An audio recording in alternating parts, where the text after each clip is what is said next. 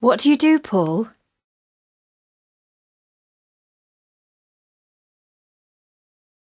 I'm a waiter in a hotel restaurant.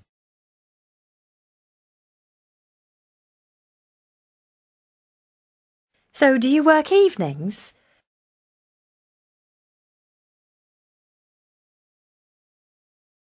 Waiters I know often work until late at night.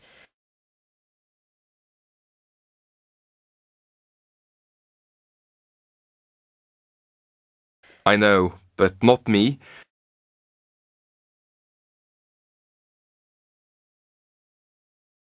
I usually work breakfasts and lunches.